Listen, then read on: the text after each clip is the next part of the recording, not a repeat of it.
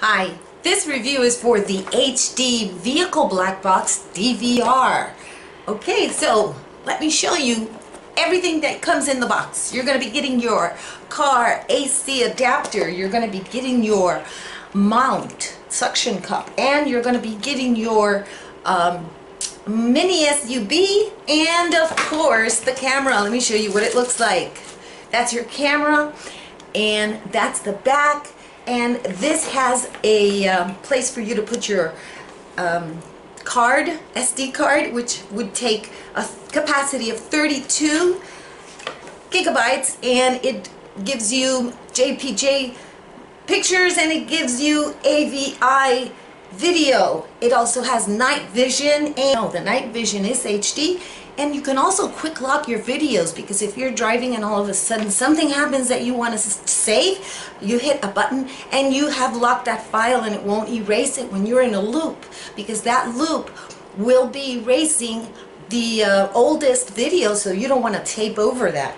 And it also has a parking monitor so that if there's movement or something, it will start to tape. This for car vlogging, for security, or for just any kind of scenic recording. The first thing you're going to do is you're going to be removing that tab. Here we go. All right, I had trouble removing the tab. Here we are. Wow, nice and slick. And now I'm going to show you how I set up the camera. What I'm doing is I'm connecting it to my um, electricity adapter so that I can turn it on and that should help us go through the setup. Yay! I hope that you can see that. I'm going to try to move this camera so that you can see the setup. Hopefully you can. So the first thing you're going to get is that this camera is already recording. As soon as it's turned on, it does start to record. When you press the OK button, you turn it off. So when you turn on that ignition in your car, you're going to be in recording mode and you're going to be recording. So if you want to turn it off, you hit the OK button and you're off. Alright, so let me tell you something about this equipment, which is really pretty good. It does work. I really do like it. But one thing that I found that I did not like,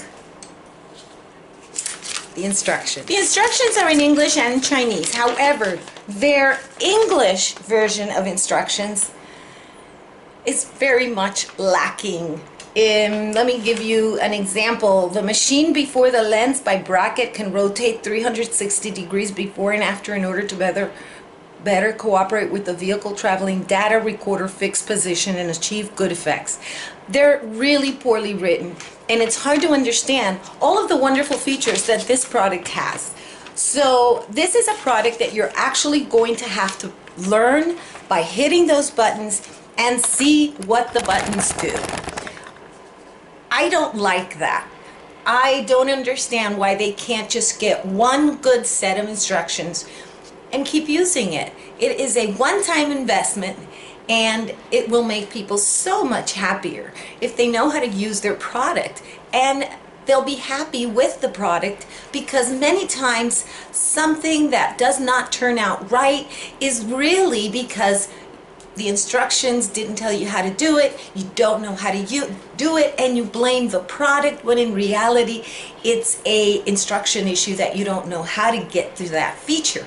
So I really believe that they need to rewrite these instructions, pay a translator, you only pay once, get it down right, and have the people who are using your wonderful product know how to use it to full capacity. So that's my only issue with this. As you can see, the instructions are poorly written. But I am going to go ahead and set it up in my car and take you for a ride. All right, so I am going to take it for a short little ride and um, it is very probably be putting the AC on and that well the AC is on already but it might distort the sound a little bit but I am not going to sweat to death in this car. Oh my gosh I am never going to be able to turn left here so I am changing my route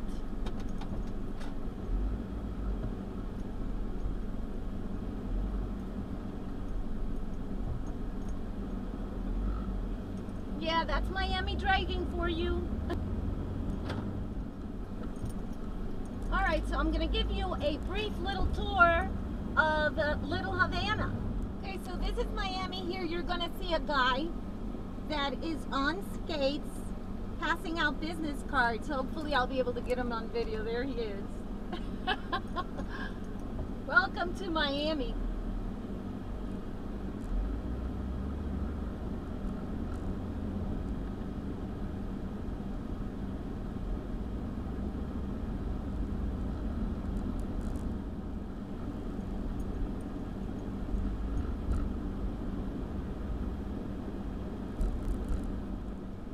Okay, so I'm really interested in finding out how the audio works. I, uh, I'm very much looking forward to that because I know a lot of people like to vlog in their cars. I don't because I think it's distracting. I'm at a red light and that's the only time I would go ahead and uh, talk to a camera. So I just wanted to see what the quality was. I am about to head home and we'll see how this works.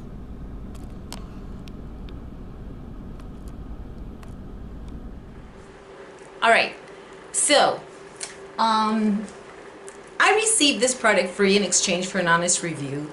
And I'll tell you, I like that it has a real long cord so that you can um, easily install it in your car and have access. You can even put it on the side window, the camera, or you can put it on the back window. Because of the long cord, that allows you to accommodate your camera wherever you like. This is long enough, so that's not a problem. The camera suction is a strong suction, and if you just heard, it turned on. The reason it's turning on like that is because it's set to the motion sensitivity mode, so it will turn on when it feels any kind of motion. The um, visibility um, is nice. I like the quality as well.